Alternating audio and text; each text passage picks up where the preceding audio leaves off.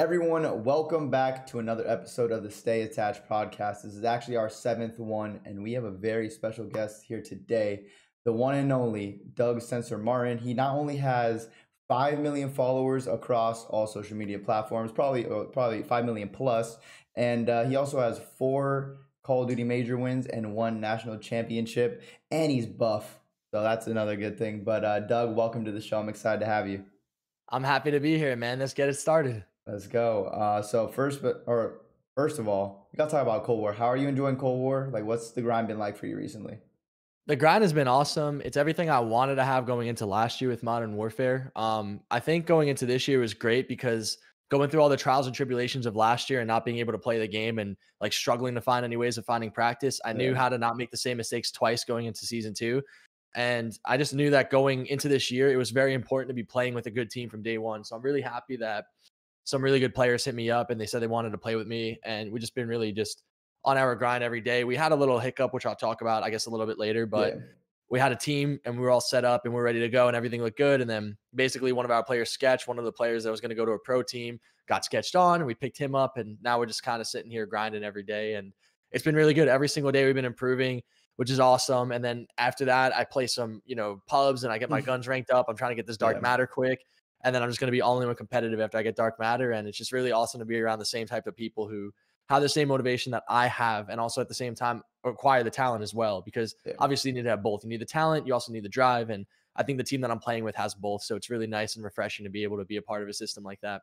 Yeah, you definitely have a solid group of players and that have been very successful before and know what it takes to win and uh, be at that top level. So that's good to see. Honestly, the most important thing about new CODs is just putting as much time into the game and learning it as much as possible, staying on top of it because things are changing so much with the metas and the guns and getting used to the maps. So it's definitely important to just be grinding from the start. But before we get too too much in the Call of Duty, let's talk about a young Doug Censor Martin when you were growing up. Uh, did you play many sports when you were growing up? Yeah, that was actually like I used to split my time between playing like Mario games and Zelda games and Pokemon games, and yeah. then I would play a lot of basketball. That was definitely okay. the sport for me. Always basketball until I got into middle school, and I, I actually switched schools when I was in seventh grade. So when I was 13 years old, I went to this different school, and I wanted to play football. I went to the gym class, and I was like the fastest kid in the gym class, mm-hmm. and I was just destroying the kids on the gym field. Like you should play football in our team. So I just like tried out for the football team, and I made it, and I just started playing football from there on out. And then I started getting back into Call of Duty again. So I was doing Call of Duty and football, and I kind of gave up on basketball. So it was either like basketball, football, or Call of Duty, and then Call of Duty kind of just took over for me. Yeah. So how did uh, you find out about COD and really start falling in love with it and grinding it? Um, I was at my best friend's house when I was 12. And again, all I played was like third person games. I didn't like yeah. first person shooters. I thought they were whack. I remember I played this like uh, Metal Gear Solid or something like that when I was like 10 years yeah, old. I think I remember I, that yeah, I was like, well, like this game is just like depressing and sad. I don't want to play this thing. Like Mario's so much happier, and I have much yeah. a lot more fun doing this. So, and then when my friend had Call of Duty, I played it at his setup one time on his PlayStation 3, and I just became addicted like immediately. So I used to sleep over his house every night. We would play Search and Destroy until like four o'clock in the morning, using a silence MP5 and rushing on every map in COD 4. Um, and then I got my own PlayStation because it was January when we started playing COD 4 by August, when it was my birthday, I got a PlayStation. So from August until early October, I went from like nothing to 10th prestige on COD 4. Yeah. And then when the new COD came out in November, I was number one in the world in the public leaderboards. And then I found out about game battles and you know the vibe from there. Everyone just goes yep. into game battles, plays search, work your way up in the variant ladder, and then you play in variant tournaments, and then you become a pro. So it's basically the same way everyone else came up too. Yeah, no. Once you learn about game battles, that's where like the passion like it just turns into a little fire and then it's just a raging inferno and you just the curiosity takes over. You're like yeah. what's the ladder? Oh who's on the top of this ladder? Oh i can play on that ladder? Oh how do i play those guys? Oh exactly. they beat me i gotta beat them and then bam you're in the cycle. Yeah you want to get the the lowest gb rank you can. You want to go start going to the event these events. You see the live streams and stuff. What was the first event you actually attended uh, to compete at my first event was MLG Dallas, and it was actually with the team that I won nationals with too. So like okay. the first time I played with the team was the same team that I won with as well. But it took us the whole year. Like we stuck together, and like we got eighth because our fourth virus. It was me, Vengeance, Virus, okay. and Sinster on the first event, and Virus ended up getting a virus going into Sunday. So we played Fizzer, rest in peace, Fizzer. But we played Fizzer on Championship Sunday, man down, and we won the first map, Havana CTF, three versus four. And it was like Fizzer, John, and was that uh, the Fear team at the time? No, it wasn't the fear team, but it was Fizzerp John and two others, and we beat Oh, them three okay. v four in Havana, and then we just lost the next three. And mm. then we went through trials and tribulations throughout that whole year, and we all came back together for the final event. And we won it, and it was it was great. And then Virus retired, Vintage retired, and I kind of just went on my own way.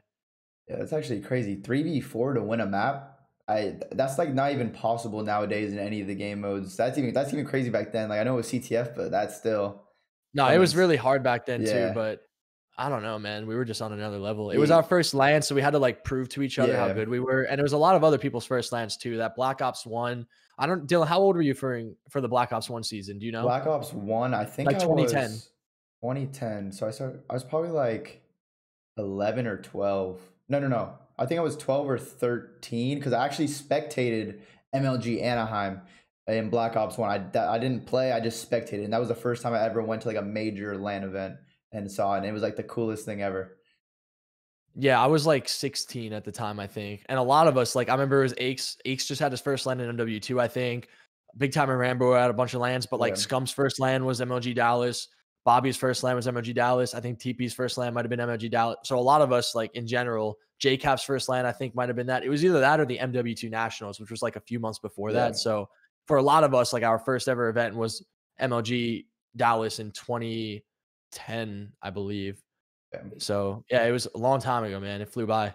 So everyone was just like trying to prove themselves. You got to go there and be the best because you don't want to go. Everyone's played online before. You don't want to go to that event and then get smoked, and then everyone just comes home and talks trash Dude. about you. It's crazy. Yeah, bro. Like the craziest thing was like I, I'll never forget in that Black Ops One season, I played against Envy Blue for the first time, and it was Scump, Bobby, Fears, and Stainville, okay. and they had that 74U rapid fire, right? Like this is when rapid fire was allowed. uh, These yeah. Bobby was throwing grenades across the map, getting kills. Stainville was using the FAMAS, destroying. Scump with the 74U rapid fire. When I found out who the fuck that guy, excuse my language, but when I found out who that was, I was like, I was like, this guy is incredible. Like, who is this guy? Scump. I didn't know who he, I was like, I gotta watch this guy. So I watched all his theaters and I'm like, dude, this guy is like the best player I've ever seen in my life. So I started watching so much theater and Yeah. trying to get better. And I really put so much pressure on myself. So when I went into that first event, the game felt so much easier to me. I don't know how or why, but like for me, online should have been really easy because I'm from New York and I was like a tri state and a lot of people Yeah. from the East Coast.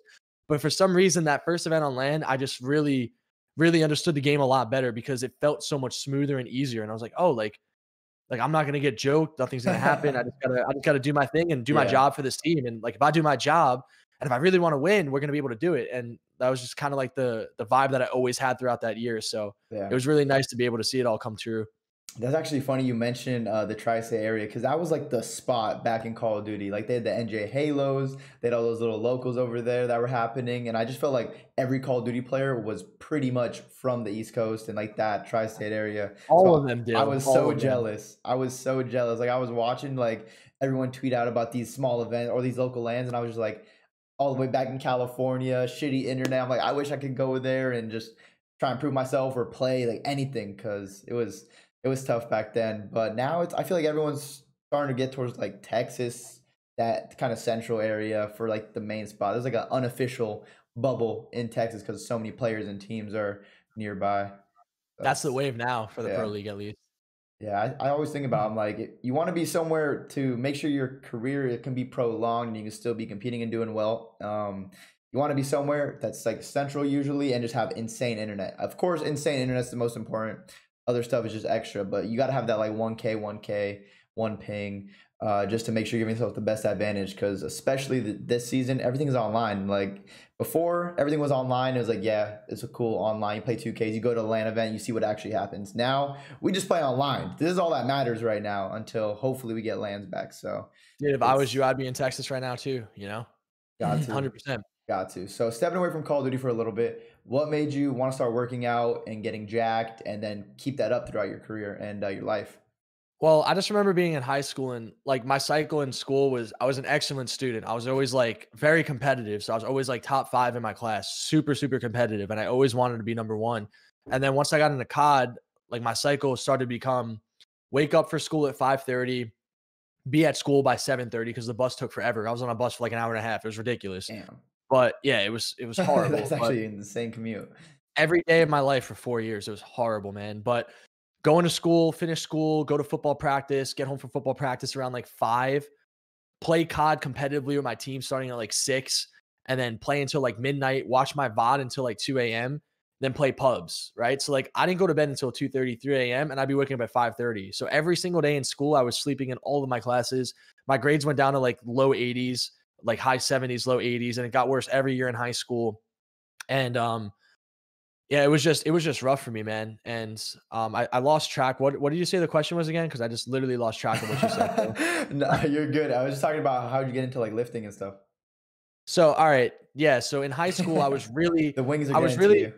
I was trying to do so many different things at the same time. I wanted to be this NFL superstar, and I also wanted to be this Call of Duty professional. But I didn't want people to know about Call of Duty because it was really embarrassing and like no one knew about it. Yeah, so yeah. I'm like, I'm like, I'm really good in this Call of Duty thing. I'm like near the top in it and I know I'm really good at football. I'm one of the fastest kids and I'm really smart. So like I can make this thing work, but I can't do much with football because I keep on missing my games because I'm going to these tournaments. So I was kind of like in the middle of everything and I wasn't succeeding at one thing. So the one thing holding me back in football was the fact that I didn't have the size. I was really skinny. And I see all these other kids lifting in the weight room every day and I just kept seeing them get bigger every day. And and I see see their arms getting bigger and their shoulders getting bigger, and I'm this skinny little twig, yeah. and I'm eating like sour patch watermelon at lunch every day, and I'm just like, damn, like I want to be bigger, but I don't want to put in the work because I love this Call of Duty stuff. Yeah. So when I was a senior and I won the national championship, I joined Leverage with Aches, TP, and Scump, and then there was nothing to play for that year. So we kind of like stopped playing, and then an event came up, and then I joined Envy with Dito, Proofy, and JCap and we had like this LAN in the Envy House in North Carolina. It was like us versus Optic only, and we just straight up did like a pub LAN and like a competitive match versus each other. Yeah. And I met Skyler Stainville yeah. for the uh, Stainville for the second time because I met him a few months before that when I beat him at the national championship final. and um, I was with Big Timer, Rambo, Stainville, Skyler, and Scump and we all went to the gym because like Stainville and Skyler were like starting this workout grind and like trying to lose weight and trying to get jacked. I think Stainville was kind of jacked and Skyler was trying to lose weight for the first time. So they were really passionate about it. And I was with all of my idols in like one place. And I'm like, hey, like I won the national championship. I'm on the biggest Call of Duty team. Like Optic and Envy were the two biggest teams. They were a lot closer back then. Optic really took it off now, but yeah. Optic and Envy were so close back then. And Envy was really cool. And I'm like, I made it to the top and I'm around all the people that I idolize. And we're all working out together. And I always wanted to be better than them and everything. So when I was in a gym with them, I wanted to show them like, hey, like I love working out too. So I want to get buff and I want to get big. And I like bench pressed a few times and I just really liked it. So when I went home, I took the money that I won from nationals and I just put it straight to a gym membership and I got like protein and pre workout and yeah. a membership. And some of my friends from real life also were working out too. So I'd go with them every day. And then after like two months, they didn't want to work out anymore and I still wanted to go. So like I didn't have a car because they used to ride for me and my gym's like four miles away. So I didn't have a car and my mom couldn't drive me because she couldn't drive me because she was working. So I either had to walk to the gym or I had to take the bus. So I remember like trying to wait for the bus and it wouldn't show up. So I'd sit there for like two hours and it wouldn't show up. So I just started walking to the gym every day because I, I, had no other choice. So like I just if they, if I couldn't get around my friends, I would just walk, which kind of sucked. But yeah. after like eight months of doing that every day, I got my own car and I started going to the gym and I wanted to get a job there. So I like got an interview and they liked me, so they gave me the job, and I started getting the gym membership for free, and I got a job, and I mm-hmm. was going to college. I had a car. Money. Yeah, I got it. It was everything. great. Yeah, I, I, I, started feeling myself, so I yeah. stopped playing COD at that time, and I got into the gym and working out, and I just loved it, and it was awesome. Yeah, that's actually a perfect segue into my next question. So after you lived your dreams out for a little bit. You had your idols with you in that house. You found a new passion for working out. And then you said you got back into Call of Duty after. What made you get back into Call of Duty that time? And how did you later go on to join FaZe Clan and really blow up in the uh, Call of Duty community for like with, with social media like this time? Well, I won nationals in 2011. It was the yeah. biggest Call of Duty event of the time, and I was like, "All right, this is it. Like, there's nothing bigger." And there was nothing announced. Like the next year was MW3, yeah. which really sucked because in MW3 there was only there was only tournaments in Europe, yeah. and the only team that could go was Apex, which was like the Optic team, and they like left Optic to go to Apex. This is like before Scump joined Optic, I think, or like they joined Optic, but then Optic couldn't go, so they all had to go to Apex. Thing. And the only other players from North America that went to these tournaments was like XTP, Too Quick, and John or Fizzerp or something like that. Like yeah. nobody went to these tourneys other than European players. So there's nothing to play for for the whole year. And I had to graduate high school and, you know, I was in college. So I was like, all right, like I have to go to college. There's nothing going on in MW3. So I guess I just, I'm not going to play. Like I was at the top with all the best players. I was teaming with everyone who was the best in the world. And there's nothing to play for. So I was like, all right, like I'm just going to go to college and do this thing. And when I went to college, I saw Nadeshot starting to blow up, and then Black Ops 2 came out that year. And Yeah. like before he even started blowing up, I wanted to play competitive going into Black Ops 2. So I started doing it. And then I saw Nadeshot blowing up. But during that season, halfway through, I couldn't compete at champs because I had Clay on my team and I dropped him because we all thought he sucked. That's We um, thought we we thought he sucked at the time. Yeah, he was pretty good he at Black Ops too. He was that he was pretty good at that game. we had Fears in our team. So it was me, Saints, Yeah. Fears, and Bobby, or me, Saints, Fears, and Clayster. But Fears at the time was like the, yeah. AR. Yeah. Damod was the guy. Like he was on leverage, winning every event with Aches and Scump and TP. Clayster was some random. Like he literally would turn his stream on. I remember scrimming with him on standoff, capture the flag, and Clayster would have six viewers, yeah. like straight up six people watching him. And he had the long hair, and he was like always the, yeah, the ponytail. yeah, he was like always yeah, he was like screaming and stuff. So I couldn't tell. And I thought he always played too slow. And I trusted fears over Clay. So I dropped Clay. And then Clay had a spot at champs. And out of spite, he refused to play with me. And he'd rather go to champs with the trash Yep, team than play with that. me, who could have probably got him a good placing. And like he was doing tryouts every day for like two weeks. I just kept spamming him. I'm like, Clay, pick me up. Clay, pick me up. Clay, pick me up. And he just kept ignoring me. And I just watch his streams and he'd be getting smoked with these like trash players every day. And I'm like, Clay, just pick me up. I'm sorry for dropping you. I fucked up, dude. I'm so sorry. I made a mistake. I listened to a player I shouldn't have listened to. I'm sorry. And he just didn't want to do it. So I couldn't play in Black Ops 2 Yeah. there was, there was nothing to play for without champs, right? Like champs happened in March. I was like, screw it, I'm just gonna do college. But when Nade really started to blow up, and I started to take notice of it while I was in college and while I was playing or while I was at the gym every day working out and working my job, I I thought I thought to myself, I was like, well, if Nade shot could blow up because he was like, you know, some random dude making YouTube videos, like Yeah. sniping videos and stuff. I'm like, and like he was always a shit talker, and he was always just like such a, like a I don't know, like he he just wasn't that likable at the time. Like when he was like 17 years old, like no one really like I, I personally I didn't like him at all. I was like, this guy's just a, like a trash talker and he sucks and like he thinks he's the best and he's not. So like I don't know. But then I saw him blowing up and I was like, wait, if this punk could do this, and this is how I thought when I was 18. I was like, if this punk could do this, there's nothing stopping me from doing this. I'm jacked now. I've won events at the highest level. I'm just gonna take my muscles and my smarts and my gameplay, and I'm gonna just big dick this entire thing and win everything. Screw it, dude. That's a good know, so- mindset. Yeah, so going into Call of Duty Ghost, we had an event before the the tournament. It was this um it was this event in Dallas, I think, and I went with this team called Strictly Business. They were called like Intake, Chloe, and Buck, yeah. and I was the best player on their team. And then the owners were like, "All right, Doug, you're the best player. What do you want to do?" I'm like, "Drop all these kids and like let me do my thing." Yeah. So they dropped them all for me, and I talked to Apathy at the time, who at that time Apathy never won anything before Yeah, but he was my in MW3. I was on the best team, and Apathy was always the player on the team that was like the rival to my team. Like in capture the flag, he'd always make the plays. He was always the hardest kill. He was always in the mm-hmm. right spot, and I noticed it. And I'm like, something about this Apathy guy is really good. So I I walked up to him at the event, and he had like no good team because nobody liked him either. I was like, hey Apathy, do you want a team going into next year? He's like. Yeah, dog. I think you're very good, and uh, obviously you won nationals, and I think you were a very good player. So yes, I'm down to play. Like, okay, like I was like, dude, but like I'm I'm I'm in college right now and like I can't waste my time. So like if I'm doing this, Brian, like I have to be number one. And like if I'm putting in this work, you have to do it with me. Like I can't do this without you helping me. He's like, trust me, I'm in college too, dog. And you know, um, I do not know. I'm with Maria. He was like with Maria for like a year and a half. Like they were Yeah. boyfriend girlfriend. Little high school like- thing. Yeah, he's like, he's like, he's like, ah, yeah, I'm with Maria and we're dating for two years, and uh, you know, I'm in college and I'm stopping college too, and I'm playing. I'm like, all right, it's like, let's go. So like, Ghost came out yeah. day one, him and I every day, three o'clock in the morning, two v two S and Ds. I'd be like, Brian, why did you push this here? He'd be like, oh, dog, I did this. I'm like, no, don't do that. He's like, yes, dog, I do. And like, we just go back and forth and argue all the time. Like, I would always be on his ass. I was like the most toxic teammate to this guy, and he just took it.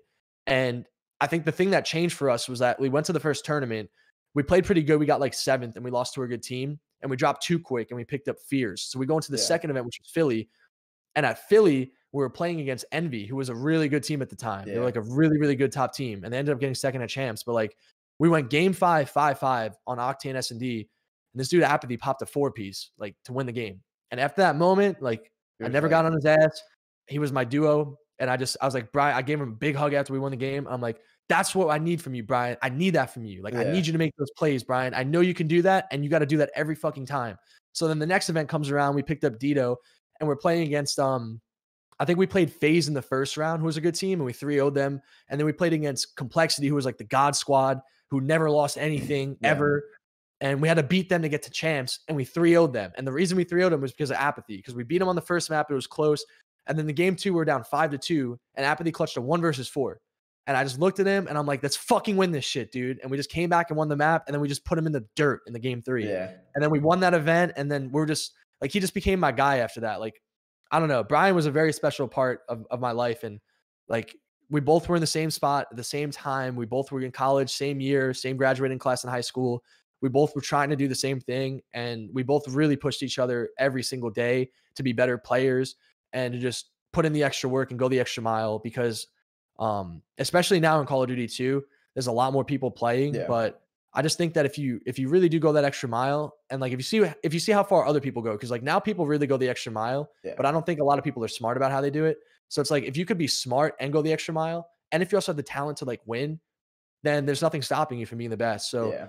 That was really my vibe. Like I saw Nadeshot doing it and I saw him blowing up and I wanted to be on optic, but he wouldn't let me. So I thought FaZe would be the next big thing. Yeah. So obviously because of Brian and because of my partnership with him and us being such a dominant two like a two man roster in Yeah. a four man game, we were really able to just climb the ranks super fast, like having two quick and fears and then dropping two quick and picking up Saints. Because Saints left Envy, who was a top team, and Saints believed in me and Apathy at the time. Um, and we convinced him to leave, and he was a huge part of our success too. So then me, Saints, and Apathy were a really good trio. And then we picked up Dito as that missing piece, and we just climbed the ranks really fast. We are able to win. We beat FaZe all the time. So um FaZe wanted me on that team because you know we we really climbed it fast. Yeah. And then, you know, I just when I was on FaZe, I did the same mentality. I had apathy with me, and you know, we just kept winning. Like nobody could really stop us. But um it was a short lived thing, honestly. I w- I didn't get to play on FaZe for more than like eight months. So Yeah. it is what it is. And that's crazy because a lot of people, even for me, they're like, yo, FaZe attached. Like they always just see me and they'll think of FaZe. And I'm sure with you, a lot of people will see you and think of like FaZe Censor as well and always say that. Um, because with FaZe, you're not just joining like a Call of Duty team. It's much more than that. So how was your time on FaZe with Call of Duty, of course, but then with the other side, like the content, the YouTube, and all the other stuff that uh, you really got into? Well, like I came back into COD with like no following and I wanted to be number one, but I was in the same shoes I'm in right now, like just, you know, at the bottom of the barrel. And obviously I have really good players I'm playing with now, but Yeah. um, I was like, I had nothing. I just had apathy. So I wanted to be this big guy like Nade Shot. And um, I knew I needed to be on a big team because I couldn't do it without the backing of a team. I had to be on a team. And the only teams at the time was Optic and FaZe. So my thinking was like I was winning and I was dominant on this random team called Strictly Business. And I had all this power and I could do what I wanted. So obviously when FaZe wanted me on their team, I just took it and ran with it. So it was like it was me, formal, um, Proofy, and Dito. And Proofy sketched on us before we could even play an event because Optic wanted him. So Mhm. it was me, Formal, and Dito. And Formal was like climbing the ranks too. And I, I really I knew where Formal was gonna go. Like it was really obvious to me that he was gonna keep on doing big things. yeah. And he kept on getting on better and better teams. He went from like uh fear to team caliber to me. Yeah. So I was like, all right, like he's gonna win with me because I'm the best and I'm not gonna lose. And this kid is good. So I trust Yeah. him. And I had I knew if I had apathy and formal, I'd win, but I didn't have app at the same time I had formal, which I think is the reason I Mm. couldn't win with him. But um I knew that when I got on FaZe that I had to make the most of it and I had to stay at the top. So yeah.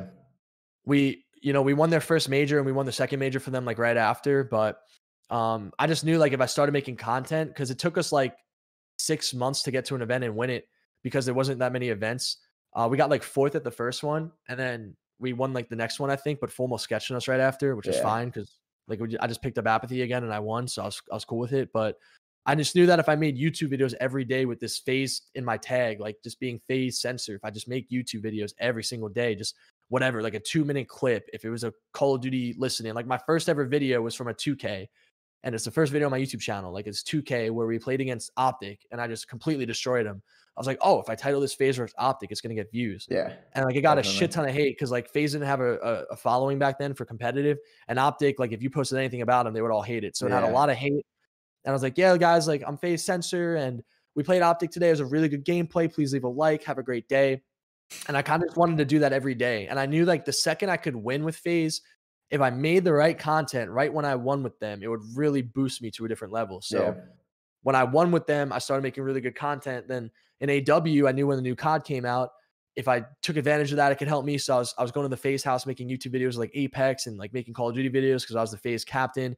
And then we played Optic in the finals, and I looked at all those guys, and I'm like, oh, this is it. Like Nade shot was at his peak in in the EW fi- in the EW opener, Yeah. and Scump and Nade were together. I just looked at it and I'm like, oh, like this is that moment where I become that fucking guy. Like I knew it. I was like, this is it. Like this is when it happens. Like I've waited for this and I thought about this. This was premeditated.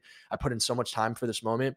Um, we came from the losers bracket. We knocked you guys out last map five Yeah, five. round 11. if I re- remember If that. replays, if replays just kill me off the bomb a half second earlier, Yeah, you guys move on. That was a crazy series because I remember we played you in pool play. We won 3-0, and then we played you in the in the losers bracket, and we went down 2-0, won the next two maps, and then brought all the way back to round 11 5-5, and you guys. It really came us. down to like it came down to like 15 seconds Yeah. left in a four versus four, and Slasher said, "Put the bomb down, Doug," and I said, "All right, I'm putting it down." And replay started shooting at me. I don't know what he missed, but he missed a bullet, and because he missed that one bullet, it cost you guys. And like we just ran from there. Like we just didn't didn't want to lose, so we kept on rolling and rolling and rolling, and we played Yeah. optic. And I'm like.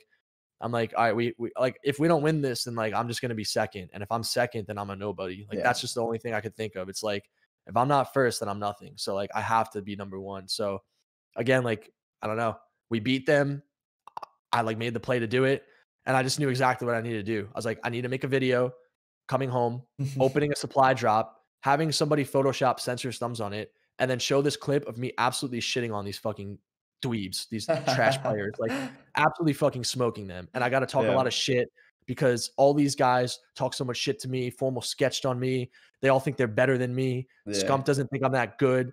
And I just fucking destroy them to win. So I'm like, fuck these guys. I'm taking this energy and I'm gonna like make some really funny videos out of it. Yeah. And then that's really what took me to that level where I started having a couple hundred thousand subs on YouTube and I started becoming something and an identity. But it got taken away from me right away, Dylan. Like Yeah, I I immediately the same night, like the same night we won the event, Tommy like came up to me. He's like, "We're gonna make Pat captain." So I knew at that point I was fucked. I was like, "I'm done." They they want Pat, and he's just gonna ruin their team because he doesn't want to win as much as I do. He's not gonna be as big on social media as I'm gonna be, and they just didn't see it that way. Like Banks and Tommy were just like, "Pat's the goat. He had the most wins because it was Ace versus Crim," and I was like, "No, he's not. Like he's not as motivated. He doesn't want to work as hard, and he's not gonna make you as much money. I could have put so much money into FaZe into FaZe's name. Like the way Nade shot grew optic, I could have done it tenfold with with FaZe if they just gave me the keys to it, but." yeah. uh, it just couldn't happen. So that's that's really like the lowest point of my life. It was such a bittersweet moment because I like worked so hard to get to the top, and like everything went my way for it to happen. And then I knew exactly what needed to happen, but then Tommy and Banks just decided like, no, we like we're not just gonna, you know, we're just gonna move on. So it really like hit hard. Yeah, no, that sucks because it's like everything that happened, everything that led up to that moment, and that was the moment where it was just this changed your life. Literally winning that event changed your life. All the stuff that was going to come with that changed your life. But then also that same night, you learned that X is going to be a captain, and you know how it is in Call of Duty when you're a cat when someone else is captain and they may not want to team with you or wherever maybe you, you see some differences. Um, yeah, it's gonna be it's gonna be bad. You can get get left off a roster or whatever. Maybe. I mean, Dylan, it's, it's the same thing now. I mean, look, five years later, like I go into this COD, nobody wants to play with Aches, and I'm like, Pat, like I will team with you, but you need to put in the work. And he's my duo. Zed and Den sent me up the team. I'm like, Pat, we should play with Zed and Dens. He's like, okay, we played Florida in a tournament. We almost 6 0 them. yeah. And then he just decides he, it's been a week and he still has left me on red. He just sketched on me for Saints Insight and Classic for no reason. Like he didn't say anything. He still hasn't texted me back. So when we played him today, I had to make sure I put him in the dirt. Um, so I don't know what he's doing. Like he just he just like did a backwards move. You know, I, I don't know why he does that. Like he just has such a lack of respect for the grind that I have and the winning mentality that I have. So I mean, if he wants to dig his own grave, he did it back with FaZe back then when um you know he was he was only on FaZe for like two more events after that, and then he got dropped off the team, and then you got picked up with I think Zuma and Clayster and all them, Yeah. right? Like, or, or I, I think you got on that team Well, later it was, on. Yeah, I got on later. It was like Hugh can enable. Hugh can enable. Well, enable was the longest one on it. So enable was on Zuma, It. no, Zuma was on it first. I think. I think Zuma got on it with uh no, oh yeah, because Zuma went to Slasher and- Zuma went Yeah, to Envy Slasher- and then went to FaZe. Slasher and and Aches picked up Enable and Zuma, so it was Enable, Yeah, and then they picked up Zuma, and they then picked up Hugh. had they got Hugh- and they got Zuma. Slasher enable. Hugh Slasher And enable Zuma. Zuma. Yeah, and then Clay they dropped I- yeah. those two for Clay and you, and then you guys went on your run. Yeah, that was crazy. And um, so where'd you go from that point, from being on FaZe at the top to not being on FaZe anymore? And with the YouTube and Call of Duty, like I'm sure it must have been ripping you apart. Like which way you want to go? Do you want to get hundreds of thousands, millions of views and make all this cash, or play Call of Duty. So like the next couple years, like what was your game plan? Um, well, I was still in FaZe and I was making YouTube videos, Yeah. still Oh playing yeah, yeah. competitive COD, but uh they kind of like just like I, I I had so many talks with Tommy. I'm like, yo, I'm your Nadeshot. You know, I'm your guy. Like, I'm gonna do this thing for you. Like Nade's the only one who's ever done this before, and I'm gonna be bigger than him. I'm gonna do it better than him. I'm gonna learn from him and do it better. And they just didn't want me to be that guy, I guess, at least for competitive COD. But they they obviously like they didn't want to kick me out of FaZe because of Yeah. me bringing the first two championships in, me growing a social platform through competitive COD. They obviously still liked me. I just don't, I still to this day don't know why they did what they did. It just didn't make any sense. It was a stupid business move on their end. And I still don't understand why they did that. But um, they obviously kept me around for content. So I was going to the house all the time, making videos and just, you know, doing the best I could and just taking the uh, advantage of a situation. You know, it was, Yeah. I live in New York. The house is 20 minutes away from me. Um, Blaziken and Tico are texting me every day. Adapt's hitting me up. They're telling me to come over to make content with them. We're having Yeah. a lot of fun. We're getting views. So now I'm going to try this content thing. But I still wanted to play. I wanted to do the content and still play, like kind of like Scump, but do it bigger than Scump. You know, like Scump is still uploading every day and streaming every Yeah. day. I always wanted to put in the extra mile and the extra effort, but it's impossible to do it if I don't have the org backing me or the people around me. You know, if I have the right team, the right situation, I could take Call of Duty even to this day right now. I could take this whole league to another level and make all of us so much more money because I could blow our league up. Yeah. Um, but I just need to be in that situation and being able to. So it's been tough because for five years, I've wanted to be in the situation where I could just imagine if Nade was still playing today, Dill, how much bigger this league would be and how much more money we could all make. I know that I could do it bigger than him and I could do it Yeah, better, but I need the right, I need the people behind me to do it. I have the knowledge in my head. I know how it needs to get done. But if I'm not on a pro roster, if I'm not playing on a starting team, uh, if I'm playing on a starting team, I'm going to win, first of all. But even if I'm not winning, just the journey that I could show through the content could really take this league to another level. So that's what I wanted to do before we even had a franchise league. But obviously, going off and doing my relationship content and doing YouTube content and blowing up, it was great, making all this money, having fun, traveling, going on vacations every other week. But like, I just knew that wasn't where I wanted to be in my life, and it wasn't where I, where I wanted to go. So um, now I'm here. Nice. So what was the like of- official point where you're just like, I need to go back to competitive Call of Duty? Because I I remember there being times where you were saying like you were on FaZe, but you couldn't play for other teams because you're technically on FaZe. It was just like a whole mix up. Like, how did you figure out that situation and then finally make your decision to leave FaZe and pretty much pursue Call of Duty full time again? Well, I kind of left FaZe for two reasons. One was because the guy who was running FaZe at the time, like, called me out to the Hamptons with the current CEO, the current CEO of FaZe, and him who was running it, and Tommy and Banks was there, and Rain was there. So it was like everyone who was important in FaZe was there. And every year, like in AW, I was really hurt that they dropped me off the. Really hurt that they went a different direction. But you guys were winning, so like, what am I going to do? I'm not going to, you know, step on your toes. Y'all are winning. Then in Black Ops 3, you guys didn't win anything. So I'm going into IW and I'm like, hey, this roster didn't win anything for a year. Like, when could I get my chance again? Because they knew how important it was to me. And they kept on like they they didn't they didn't give me closure. That was the problem. Like if they just said, Doug, like we're never gonna put you on this team and we're just gonna go in this direction, like they really screwed me over in that sense because if they just gave me some sort of closure, then I would have either left FaZe earlier or I would have never wanted to compete again. I would have made the decision a lot faster, but they kind of let it linger for so long. And I'm a very direct guy. I don't like to beat around the bush when it comes to anything. So I would sit down and have these hard talks. And obviously, your roster didn't win for two years. So I was like, all right, like if if their roster hasn't won for two years, I need to play from the beginning of this game. Like I, I sat out last year in IW because I didn't want to leave FaZe. I sat out last year in Black Ops 3 because I didn't want to leave FaZe. Now I'm going into World War II and it's boots on the ground. It's 4v4 COD, like whatever. I went on boots. I went on jetpacks. I didn't really care what COD was. It didn't matter to me. But I sat down with them. They're like, yeah, like, like, come out to the Hamptons. Like we want to talk to you. I was like, okay. So I go out to the Hamptons. I'm sitting at this six man table with them. I didn't even say anything. The, the guy who's running FaZe at the time just stops and he's like, he's like, all right, so Doug, you're getting the keys to this team. We have Zoom in attached on the team. You could drop them if you want to drop them. It's totally up to you. And personally, Dylan, I wanted to play with you and, and Tommy, but you guys never wanted to play with me. But it's fine. Like they're like, you have the keys to the team. Yeah, so like my, my first reaction is I'm gonna go to Zoom in attach and tell them, yo, I still want I want you guys to stay on FaZe. Like I, I really think that we could win together. Like I really wanted to play with you, Dylan, before you won champs. And I always knew Zoom was really good. So like I always wanted to play with you guys. And if you guys didn't want to play with me, I'd be like, all right, like then you could leave FaZe and I'll just win again with other players. I'll pick up apathy again and I'll do my thing I didn't go. So it's whatever. And they're like, you have the keys to the team. If the other players on this, they made this very clear to me. They're like, if the other players on this team, and they're talking about you and Tommy, if they don't want you on this team, then they could leave. Like it's your team. You have power on this team.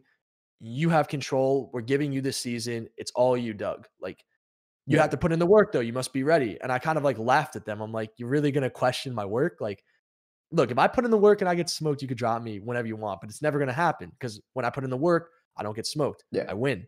It's just how I am. So if I have the org FaZe and I have the power to pick up my players, I'm gonna be number one. And if I'm not number one, then I'm gonna be number one at some point. It's gonna happen. I'm gonna win.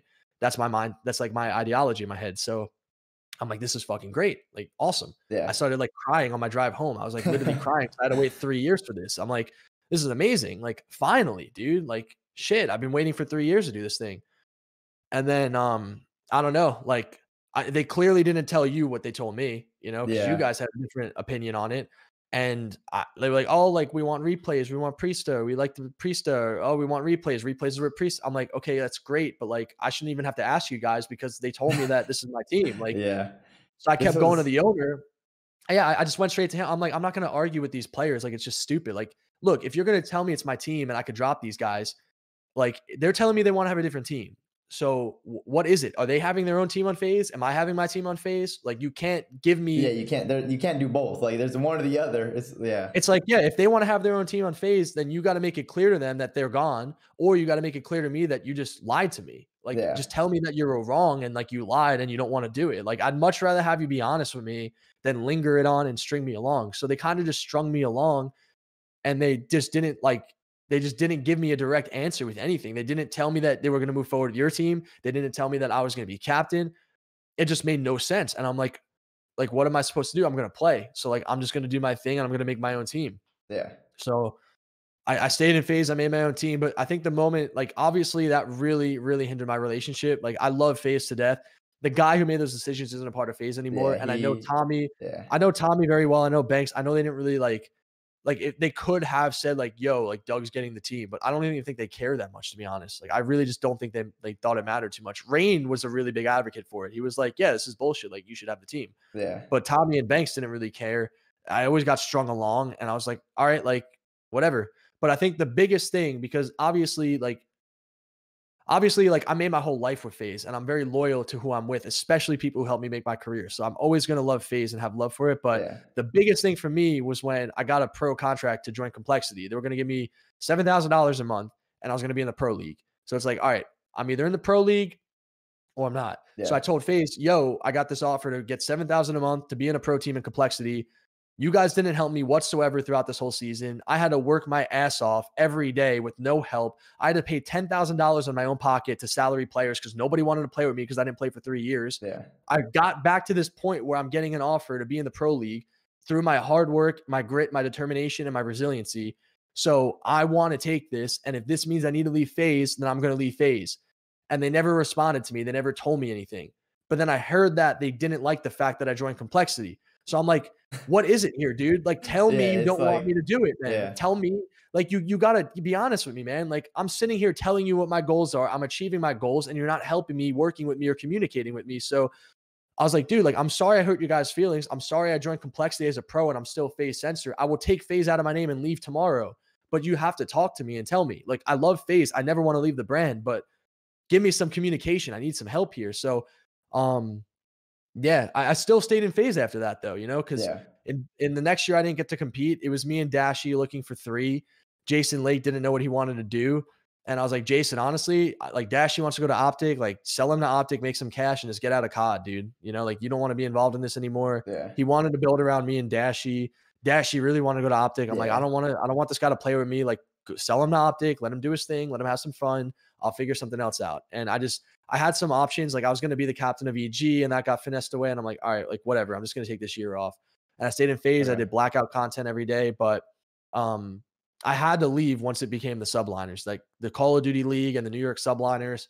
Um, and again, like I, I don't know why these teams give me Dylan. Like the owner of the the New York subliners literally said, "We want you to be the face of our team, and we're going to let you play." And like we all know how that went. So it's like, look, I don't know why these situations keep happening, but I'm very clear with the people I'm around. And if you don't want me to be around you, don't use me for my social following. Just tell me we want you for your social following. Like Hastro told me this. I hit up every league team. Every league team wanted me to join him as a sub. Hastro was very direct. He was like, Doug, I will sign you right now as a content creator and I won't think twice. I'll give you a great deal and you'll be a content creator for Empire. But I'm telling you right now, Doug, we have their set roster. It's not changing, and you're not going to get a lick of playing time on our team. No disrespect. I want you to do your thing. I want you to be happy, but I just want to be honest with you, transparent with you. This is our squad, and we're sticking with it. Yeah. So if you want to join, you'll be a content creator. And I was like, yeah, I appreciate that, Mike, but I really want to play. Then I go to New York, and they tell me that they want to make me the face of the team, and I get to stay home in New York, and I get a great deal. So I'm like, this is awesome. Let me do it. Like I, I don't know. Like I, yeah, I don't actually, know. It, it, drives me crazy inside, dude. Yeah, wait. I actually think, truly think, and know because I'm pretty sure in Modern Warfare from the beginning, like if you would have took Modern Warfare like you took this season and grinded like with a team and got practice from the start, I truly think you would have been on New York in the starting roster, hundred percent. And I'm you can talk to everyone else on the roster and get their opinions, but I think that if you would have been playing like streaming like now uh, you would have gone to the team for sure. But I think the rules were a little different at the time. Like it was probably harder for you to find teammates, right? Because like it the was, sub rules were like conflicting. It was impossible, dude. Yeah. yeah. it was impossible. There was no chance. Like there was just nothing because the, the the rules changed throughout that year, Dylan. Like in the beginning of the yeah. year, our owner from New York was like, Doug, you're going to be going to all the events with the team, like every single event. So because you're going to every event, you can't play in challengers. Like that's yeah. how it started. Because I told him I was like, yo, let me play challengers. Like I'll be a sub on this team and I'll play challengers. Like this is great like whatever. Like it's the same concept now. It's like, dude, like I'm gonna do my thing in challengers. I'll be a great player. If the roster sucks, if they need to make a change, if I get a tryout, I'm gonna kill it. I'm gonna take the spot because I'm gonna earn it. But like, like, like let me play it. But like, nope, you're gonna travel because we need to have one sub that could play in challengers, one sub that could travel. And I was like, oh, let me play in challengers. They're like, oh, well, we're gonna have to affiliate, and you're we're gonna have to have a second team, and we're gonna have to salary it. I was like, okay, so then like, I'll figure out another way of getting practice. I'll just play tens every day. Like, I, I don't know. So it, like it, I think a lot of it was just like the league just not having a structure down. I, I, told the league so many times, like I was like, "Yo, you just got to let us rock, man. Like we're sitting here doing yeah. nothing all day. Like you just got to let us rock and let us play because it's only going to help your league out. Like this league's only going to work if we have more people growing on social media and more people getting eyeballs on this league, or else it's all just going to crumble. Yeah. And you just got to let us all go. Like, look, I'm never going to be able to be a starter unless if I got blessed. It's never going to happen. I got to go earn it. So like the league finally opened up and I think that they're doing a great job and they're making it a lot better for all of us involved and going to 4v4 is great. So I'm really excited for it all. But again, like I think the biggest things that hold true to me is is like I don't know why these orgs want to give me these promises. Like I think they just see me as a big social media guy and they're like, oh, like we could just tell them these things and then sell sponsorships. And it's like, dude, like just tell me, like be like Hastro, just be honest with me. You know, just tell yeah. me you don't want me there as a player. You know, Seattle did it too. They're like, yo, we'll give you a sub spot, but we're not gonna let you play. It's like, awesome. Like, thank you. Oh I'm yeah, they so like straight up with you. You got you got your answer, what you wanted, pretty much, instead of yeah. Because why, why would Dill, why would I leave FaZe Clan and everything that I've built with this team and everything that I, I love about FaZe and like my life? Like I li- yeah. literally my whole life was from FaZe. So it's yeah. like the only reason I'm gonna leave is if the offer is really freaking good. Yeah. And New York promised me a great offer, you know, and it just like it's just false promises again. So a lot of learning lessons, Dill. Just got to be very, very uh, cautious with it. And at the end of the day, like you just got to be undeniable and just yeah, just put yourself in a situation where you're just undeniable. Honestly. Yeah, I'm not gonna lie. Honestly, listening to you talk has gotten me hyped. To be honest, like I feel like I'm ready to go work out and punch a hole through a wall or something. So, yeah, you're gonna be hyped, no lie. Um, but I think you were a really big advocate, and you definitely had the biggest and loudest voice about challengers changing or like the challengers rules changing. So I think you helped a lot of people that are gonna try and become professionals in the future in Call of Duty because I think the rules were definitely messed up last year as well, where like you couldn't play because honestly it seemed like subs were getting the the fifty thousand dollar guaranteed contract and then they weren't able to play COD. They would just kind of have to sit there and they couldn't improve and they couldn't go to these events and play. So it was kind of like is that 50k you're worth it for that one year getting whereas if you could play and then maybe make 100 200 300 one day and be a pro like is it worth it to just sit out and take that 50k but you can't improve or play cod at all? Like it was it was definitely messed up but i think that's what now now with, it's great to be a sub dylan. Yeah, it's awesome to be yeah. a sub now. It's great you know? Like yeah. it's, it's awesome. Yeah so pretty much i think you were a big voice in getting that change so shout out to you. A lot of these people should be thanking you because you really helped a lot and um then ending off of that first season on the team and everything. I know you talked about some of the issues like that was that was with everything. How did you how are you going to try and make it so that doesn't happen again where you get on the wrong team or you don't have the right players by your side. Like, how did you make sure that it's not going to happen again? So you're going to get what you want and uh, achieve what you're going for this next season. Well, I just knew that if I had restrictions, it was going to suck. You know, Yeah. like I didn't want to be restricted. I did not want to join any league teams at all, unless if like uh, li- You were like last starting, year. like No, well, I mean, New York was like, we want you to be the face of the team. And then I have a call with them. They're like, what do you want to do next year? I'm like, I want to play. And they're like, oh, we can't have you play on our roster. We're going to have to reconstruct the whole roster for you. And it's like, you have Clay, ZooMaa, and Mac. You need a player like me. You picked up Asim. He plays like me. You have Hydra. We don't even know how he plays. Like, don't give me this, like, we have to reconstruct our roster. Just tell me you don't want me to play in the team or the players don't want me to play in the team. So it's like, no, like, I'm out. Like, I'm gone. I'm to go do my thing. I don't need this money. Like, I'm here because I want to win period. That's it. So like not having a restriction is awesome. Being able to just play with whoever I want to play with. Um, I had an idea of who I wanted to play with going into the season. I wanted to play with Aches. I wanted to play with Fire. I wanted to play with Goon. Um, and Fire obviously was off the board, and then Goonjar was off the board. So it was me and Aches, and then Zed and Dens hit us up, and I'm like, I didn't even think about Zed and Dens because I thought they were in Europe. yeah, And I'm like, this could this could be great. Like I know Zed's a grinder. He plays to win. Dens is a slower AR. We're gonna need a player like him because I didn't even think Dens was like I didn't even have him on my board because I thought he was in Europe. I had no idea what he was doing. yeah, So when they hit me up the team, I'm like, oh, this is great. Like these guys are players who are all about the grind, and they have been every single day. They get on when we have scrims. There's no shit. It's just grind, get better, work as a team, get Yeah. better. You know, we've been scrimming for like six days now, and every single day we just get better. The roles make sense. You know, um, Goonjar's now on the board. He texts me at three in the morning. He's like, "Yo, I don't got a team now. Like, I got screwed over. I was going to join the league, and I'm not." So yeah. I'm like, I'm like, all right, like let's do this thing then. So it all worked out, and I, I just think like, I just know for a fact that if you're good enough to be in the league, you're going to be in the league, and I know that I'm good enough to be in the league, yeah. And I know that if I put in the hours to be in the league, like when it comes to tournaments and matches, I'm always going to show up and I'm always going to play well, and especially when it comes down to literally winning a game, I do it better than anyone else does. So it really just comes down of just putting in the reps every day, working with some good guys, and I'm just really happy to be around some good guys because it's been a long time since I've had this, and it's really refreshing to play with these players. Like I just look back at my Lightning Pandas team in, in World War II. Like I wasn't on good teams that whole year. Goonjar picked me up. I got on a good team. We got top eight, Yeah, and then I got a I got a league offer right after that. So you know, like re- regardless what happens, like this team that I'm with right now, all of us, our goal is to be back in the league. But obviously, on the day to day basis of grinding, we're all trying to improve and get better. And um, I think the thought for me of just knowing that all these players, like I look at these lists of all these amateur players and all these ex pro players that are all trying to get back in the league, and there's only 48 players in this league now. Everyone has the same goal get back in the Call of Duty League, right? But not only get back in the league, but also be on a good team in the league, right? So the way I look at it is like whenever I'm playing the game, I always want to improve. I always want to get better. Yeah. But like, what is the best players not in the league doing? And how can I do what they're doing, but more than them? You know, like Yeah. that's how I always look at it. How could I be the best, most prepared, best teammate, most intense, like most wanting and desire, best clutch player? Like, just be the all around player Yeah, that the- every yeah. team wants. You every know, like team, that's how I player just wants to play with. Yeah. Exactly. Exactly. So that that's just really like the thoughts that go through my head on this day to day basis.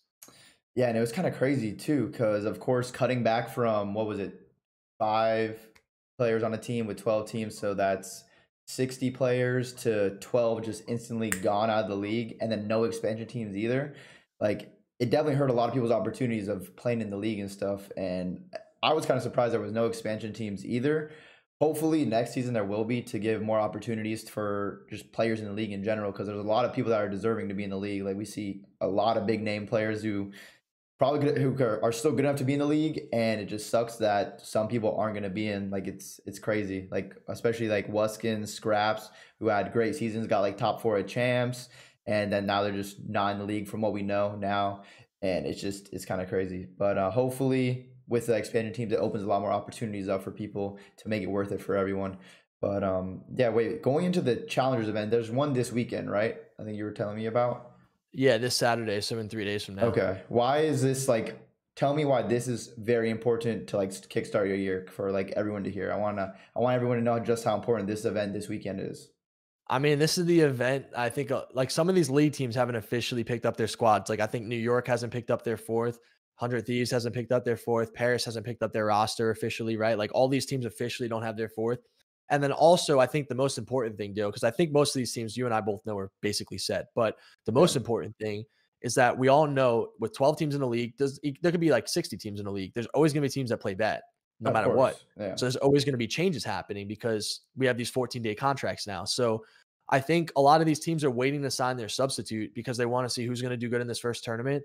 And then they all got notice that there's going to be a scouting series coming up in yeah. like a week and a half or two weeks from now where all the teams are like required to go to it. So if they're all required to go to it, why pick up a sub now if they could just wait until after this is over? So playing yeah. in this first tournament, playing in that scouting series, I think the tournament's probably going to be more important because we all know that the scouting series is just like glorified eights with the draft. It's like I don't know. Yeah, if I'm a, it's not. If I'm a if I'm a general manager of a team, I'm looking at who's playing well in these tournaments. In the you know? challenge tournaments, really yes, that's it. That is, yeah, that's definitely. So I, and then on top of that too, uh, your pro points from last year carry over to this mm. year. So we're gonna have a good seed because me, Goon, Zed, and Dens all have a lot of pro points. Yeah. Uh, Goon has like 80k. Like we're gonna be like the third or fourth seed, so we're gonna have a pretty good bracket. Yeah, and we have to take advantage of it. Like it's super important that we put in the time every day. We learn this game in and out.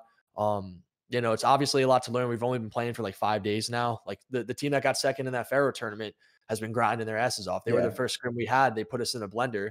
Yeah. And I was like, yo, have you guys been grinding? Like, yeah, we've been on our grind. I'm like, well, yeah, it's our first day. They're like, yeah, like Jeff told us. So it's like they're so far ahead because yeah. of how much time they put in. But obviously, when you're putting three day scrims every day, you catch up really fast. So um, there's going to be some really good challenger uh, competition. There's going to be some really good teams and challengers. But if you could play well in this first tournament, keep keep getting those pro points, keeps having a high seed. You're either A, going to be on a top team in challenges throughout the year and continuously have chances to prove yourself, or B, you'll get a sub spot offer, um, which obviously could be great for your career as well. Because you know there's going to be league teams that are going to suck and make roster changes. Yeah. It's just how professional people have to lose. People have to lose. Someone has to lose. Someone yeah. wins. Someone loses. It's just how it goes. It's gonna be middle of the pack, winners and losers. Uh, so you just want to be able to take advantage of that. Like I think last year Mac did a great job with you guys. Obviously, yeah. I don't even think he won a challengers event, but obviously he, he, was so like good. Second. I think he got second and win one and did Minnesota like well. Yeah. Yeah, so it's like, oh, like this guy's playing really well. Let's pick him up. And then yep. he comes into the league. He wins an event in the league. Awakening again, another player yep. who won like one three. challenger event. And then one three, uh, three events. Yeah. So you just want to Pharaoh too. I mean, Pharaoh, rest in peace, wasn't in the league in the beginning of the year. He was yeah. thinking about quitting. He got back in, and him and Awakening come take over. So there's yeah. people in this challenger system that are better than people in the league right now who aren't going to be in the league until these teams start playing bad. These players prove themselves, and it's just super important to understand that moment and uh, do your job. You know, if you yeah. do your job, that's that's really what's going to count. So, and these players are smart. You know, the pro league players are smart. The owners are smart. Well, the owners are still learning how to run the scene, but I think the managers like the Brian Saints of the world and the Mud Dogs of the world and the coaches and you know JKap and the players in general, they all know what to look for in a winning player. So um, they're going to be watching. You know, it's their yeah. job. They're going to be watching these tournaments. They're going to see who's performing, and that's where they're going to make their moves on who they want to pick up. Yeah, what do you think uh, the league can do better to just grow uh, the pro scene, challenger scene, and just everything just to last for ten years from now, when we're maybe coaching or casting, whatever it may be? Like, what do you think the steps now the league has to take to just keep expanding? I think there's two different things they need to do. They need to capitalize on battle royale with Warzone and convert a lot of these battle royale people into competitive Call of Duty fans, yeah. which they're trying to do with these Warzone tournaments. But I think the most important thing is why is the league here in the first place? Is because of Optic, Scump, Hector, and Nadeshot.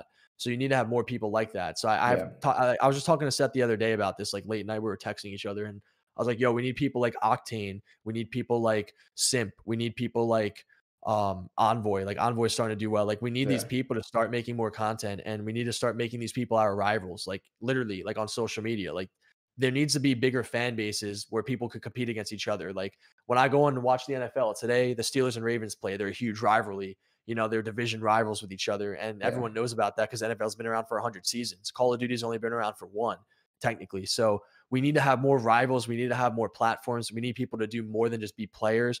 NBA is a great example as well. You got Magic Johnson, um, you got Larry Bird, you know, you got these guys who came in, then you had Michael Jordan come in. Without these guys, the NBA wouldn't be a thing today. Like, yeah. I don't think people realize NBA wouldn't be a thing today without Larry, Magic, um, uh, even the people before that, but Michael Jordan. Like, you need these people that either are really good at what they do, or in gaming, it's a little bit different. They don't have to be the best in what they do Nadeshot wasn't the best player, but he was the most popular guy. You know, like you need people Yeah. like this to be in the scene. You need these people to come grow the scene and make it bigger so that in 10 years from now, people could just come and join the league, get a million dollar contracts and just perform well and get brand deals and get a million followers on social media. Like that's how it's going to have to be. And that can't happen without having people make content, having players work harder than just be players. And um, obviously, on top of that, converting battle royale fans into competitive fans is a major thing too. So I think those are the two things the league really needs to pay attention to. Yeah. All right, noted. I got we got to start talking more shit to each other. Everyone in the league has to start hating each other. Doug, send me a list of the people that that you hate, and uh, I can I can make some tweets. I can send some tweets out. You know, try and talk some more shit and get the league more entertaining. Because I think that's that's especially what helped build or build Call of Duty in like Black Ops Two, where it was like the optic. They were never winning, they were doing well. And then you had like the Aches and the Crim on Cole, who were the villains who won everything, and people just love watching it. And then Call of Duty like blew up to a whole new level. But like Slasher said, the community's too soft nowadays. The community, everyone's a goat, everyone's the best, everyone's super nice. So maybe we just gotta flip it on his head and start going crazy. But um, yeah, and, and if you talk shit, then people get really like personally deeply affected by it. You know, and it's like, Yeah. God, man. Like, come on, dude. Like, we all want the same things here. We all want to Yeah. win. We all want to make money. We all want to say we're the best, right? So, I think I think everyone just needs to like like how Slasher said, just toughen up a little bit and um learn learn to take it different. Like, learn to take the in game like. If you have in-game trash talk, it's not like I do a lot of in-game trash talk. I was shooting at his body all day long today. Like he was just getting destroyed. I don't even think he went positive in the map, to be honest with you, Dill. He's using an AR and literally not going positive on a single map. And I'm like, yep, typical Pat. He doesn't want to win. And, you know, I'm going to keep saying that to him. And look, if Pat really wants to win and start trying hard, that's great because then we need more Patty P in the league and we need him to be playing well. So, look, I love Pat outside of the game, but I, I just in the game, I'm going to talk shit. There's certain players I'm going to talk shit. And yeah. doesn't mean that I hate you. It's just, you know, it's a competitive sport. And that's one of the things that drives me as a player. And I think a lot of us have that in us. You know, I, I don't think I'm the only one that's like that. I think a lot of us are like that too. So um, I just think we have to be able to separate the in-game trash talk and just who we are as people outside of the yeah, game. You of know? course. Like once it gets to, like the personal stuff, people start almost fighting, then it could get a little too much. But definitely with the in-game trash talk, it's not bad at all. Like remember when uh Simp shot Scump's body and everyone was like freaking out, like, oh my god, he's shooting bodies. Like I don't know why people get so offended when people shoot bodies. Like I don't even think the players really get so much as offended as some of the supporters do. Where it's just like it's not like who cares if someone shoots a body or teabags. Like literally, it doesn't hurt anyone at all in real life. Doesn't make them feel but Like it's not that serious to where you don't have like you can't shoot bodies or anything like But that. no, say say I'm scrimming you right now and I gun you down and I shoot your body. And then you you're in a- streaming and you say you fucking suck. Like it's yeah. No, no, no, say it's in a tournament. Say it's in actually yeah, something in that's important. yeah. And I gun you and I shoot your body. It's gonna make you be like, fuck Doug, man. Like Yeah. You're gonna like lean forward more and you're gonna start going even harder. You know, like it's great. It- It's a great good. part That's of like- competitive, that's- you know. It makes you it gets you going, it gets you hyped up, makes you feel good. And I feel like that's just show more show more passion and energy. And at least there's just so much more stuff. But I don't know. I feel like with the shooting bodies thing, like people have been like soft about that before to whereas it's not that big of a deal. Like at least it's some good rivalries and uh and fun stuff. But now that we're talking about like the social media and all this kind of crazy stuff talking that we're talking about, how do you deal with all the hate that you've been getting on social media, whether it's been with like the whole recent thing with the snipers or just in general, where it seems like the guy tweets at you every single tweet of yours where it says, fuck you, Doug. Like it's that, it's that video every single time you click on one of your tweets. Like, how do you deal with that? How do you get by it? And how does it affect you? I or think for me, it- I think for me, it's like I've never in my life, in anything, in any public setting, at any Call of Duty event, any fan meetup I've done, any place I've traveled to, any business adventure I've done, any any event ever that I've ever been to, have I ever seen any of these fucking internet warriors say the shit they say to me? Everyone looks at me with a big smile and like, Doug, what's up, Doug? Doug, yo, Doug. And I'm like, what's up, man? Hey, what's up? I give him a hug. Obviously, COVID. I'm like, whoa, you know? yeah. it's like I just I I can only think like unless if it's something that I self-inflicted on myself, right? Like if I um if I did something where it's like I can't even think of I I honestly can't think, but if there's something that I did to somebody where it's like I deserve it, it's like okay, like you you could hate on me, but I I just think people just like to hate on me because they're jealous. So the biggest thing for me is like, look, like you can hate on me all you want, you can say whatever you want to say about me, but at the end of the day, there's a plan that I have. It's going to happen. Nothing is going to stop it from happening. I don't got to worry about some contractual shit. I don't have to worry about false promises. Yeah. I don't have to worry about somebody telling me one thing and then it's actually a different thing. The only one I have to worry about is my head, myself, what I want to do with my time. And I want to scrim Call of Duty. I want to watch my VOD. I want to destroy people when I play in tournaments. And that's exactly how it's going to go down. And nothing's going to stop that from happening. So, look, you continue talking shit if you hate me. If you love me, support me. That's awesome. I definitely love that. And I appreciate it. But um, I, I, also think that the more successful you get, the more people just want to criticize you and they want to hate on you and they just yeah. want to drag you back down. So, um, look, I, I, got a big, big plan in my head of what I want to do and a big goal set, and it's going to happen. So, I think there's going to be a lot more people that are inspired by it and do something good with themselves. And yeah. that's really like the main goal that I want to do with all of this, too. Yeah, no, I can't wait to see it unfold. And also, I got to ask because I see so many people on like the Reddit or just Twitter or sometimes even in the chat, like, is Doug delusional or does he actually believe and truly believe what he's saying? Like, what do you, what do you have to say to those people that question if this is real or just you're delusional and you're just saying it just to say it? Well, if it if it wasn't real, then like I'd just be uploading like vlogs every single day and like just making money and just like being this like happy YouTuber that yeah. everyone loves. You know, like I did that for years and it's like it's awesome and I love it, but it's just not where I'm where I want to be. You know, so yeah. Like I think I, I can understand if you like are watching from afar and you just hear me say I'm gonna win champs and then you see me not playing at all for the year. It's like, well, I got lied to and like they don't care and they don't even want to hear about it, you know? So it's like if you see it from afar, I could see where you're coming from. But if you actually like follow my journey and see the shit that I've actually been through, it's like, yo, like I've literally had people tell me it's your team, you could drop these players, and then yeah. it doesn't happen. I have owners telling me we want you to be the face of our team. And I literally have lunch with them and I say, if I'm going to be the face of this team, I'm going to have to play someday. And they go, You're right. I said, I could be patient. I don't have to do it right now, but I need to have a plan of how to get to that point. No plan happens, then it doesn't happen. You know, it's like, you know, so whatever, man. You know, like yeah. I, I got nothing, I got nothing holding me back now. And look, if it doesn't happen, then it doesn't happen. But yeah, at least you tried your hardest I, and I, did what you wanted to do. Because like you, if imagine if it never happened, like you just stayed doing content, which something you doesn't seem like you wanted to do, instead of or like you still want to do it, but you wanted to play COD and compete much more. So one day you'd probably regret that in like an insane amount. So I'm glad to see you doing what you're doing and uh, being successful. And I wish you luck in this Challengers Cup coming up and the, the season, and then seeing you back in the league soon. Thanks, Dill. It's uh, it's gonna be a fun one. So make sure you tune into the stream this weekend. Uh, where where can I watch? Twitch.tv slash censor. We're gonna have a big okay. tournament. We're practicing every day, going over some search all day tomorrow and Friday. Um, gonna be as prepared as we could be. Still very early in the season. I want to put so much weight. Obviously, the tournament's important, but I think a lot of teams don't know the game obviously yet. Even the best like FaZe still don't know the game. So I think it's very early in the season right now. Um, I think I'm personally a lot really good at a game when it first comes out. You know, I've won majors when the games first come out at the highest level. So I'm pretty confident I'm going to play very well. But um, at the end of the day, there's a very long season ahead of us. It's a marathon. There's going to be countless tournaments throughout this year. Yeah. And I just think the, the, the players who really want to win and put in that work every day are going to be the ones that show at the end of the season. And look, like look at Shotzzy last year, Dill. Like we're all laughing at him saying he sucks because he went like nine and 37 in his first LAN match. And he ended up winning console player of the year, esport player of the year, MVP, champs, champs, champs, MVP of the season. Like, yeah. those are incredible accomplishments. So it's really just about putting in that consistent process. work the season. Like whatever happens, you got to go with it. Like you're not, you may not start off hot. Like even on New York, we didn't start off hot, but somehow won in a home a home series and it went well. But um, actually, yeah, I mean, before, dude, at least at least you got to win. I mean, a lot of exactly. teams in the league did it least you got a win under your belt, you know? So exactly. you couldn't control that it went online. You went online, you 3 0 Chicago Huntsmen in the finals. You didn't play that well at champs. Shit happens. But dude, you put in a lot of work. I know you guys worked hard every day. I was there. You played really hard every single day and you got you're able to get a win. So, you know, yep. it, it's good. It's good. Okay, before I let you go, I got three questions from Twitter. Are, do you think you can handle these? Yeah, hit me. Okay, so this one is from Z Dragon.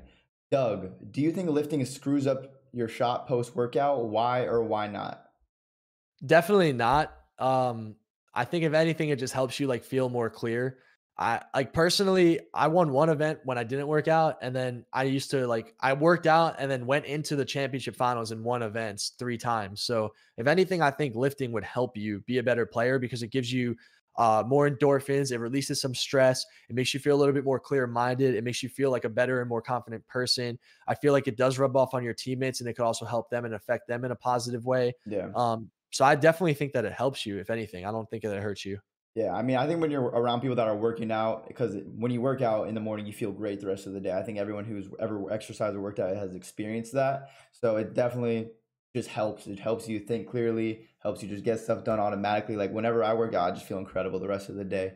Um, so I agree with you there. Okay, another one from No Limit Clarify. What was your favorite memory competing in Call of Duty so far? Winning the national championship in Black Ops One.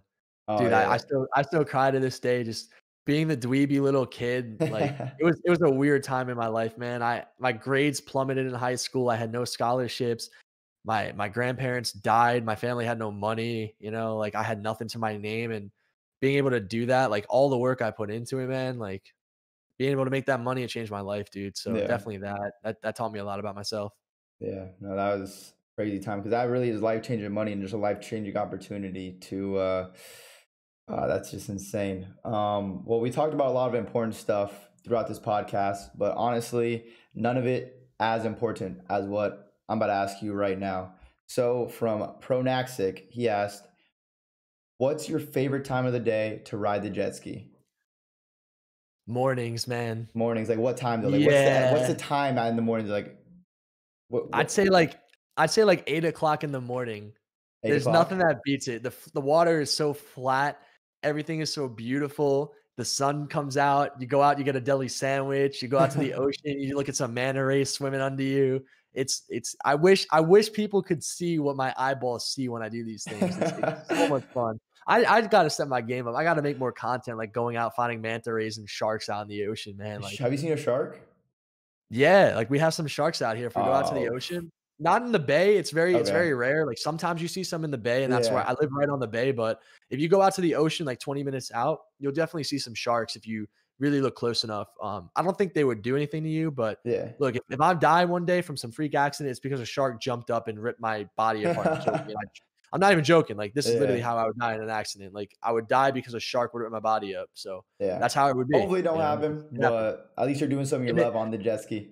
Dude, if it happens, then listen, it was worth it. I'm telling you, man, it was worth it. Like I would not trade this for the world, dude. Yeah. And how many jet skis do you have now? I think I see I had ski tweet every kind of like where you're trading them in, different color, you know, different design.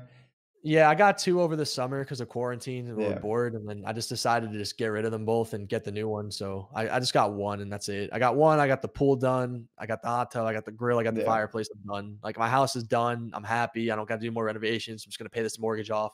I'm going to make it back in the COD League. I'm going to win champs with you, Dylan, or playing you in the finals. Either yep. way, just know if you're in champs finals, Dylan, you had your ring, Dylan. You had your ring already. It's my turn. It's yeah. my turn now, man. yeah. I don't know. You're like, yeah, no. You're like, yeah, I gotta, no, I gotta get that second I gotta one, get dude. another one, bro. The way I look at it, one ring is so close to no rings. So you only That's got what one, I like, Dylan. On a serious note, though, like there's certain players that I see, like look at your play versus OpTic, the one v three. I mean, there's only a few players that have that type of ice, bro.